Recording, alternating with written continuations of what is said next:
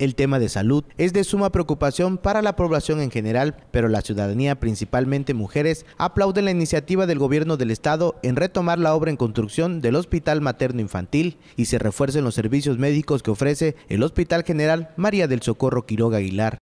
Serían más atenciones para los niños, ahora sí para las personas, sería más Ahora sí, nada más contamos con dos hospitales, el hospital y el INS, y abrir uno más sería para gente para más gente y serían más, ahora sí, menos, menos enfermos, más personas, ahora sí, capacitadas y todo eso.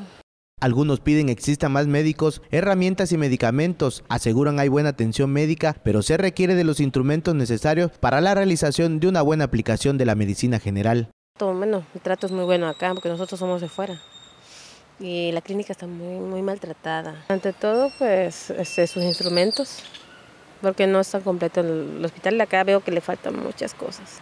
La ciudadanía de Carmen coinciden en que se mejore la calidad en los servicios médicos que se ofrecen en la isla y se concluya la construcción del Hospital Materno Infantil, misma que impulsa el gobierno del estado. Con imágenes de Fabián Orozco, Valentín Mendoza, Telemar Carmen.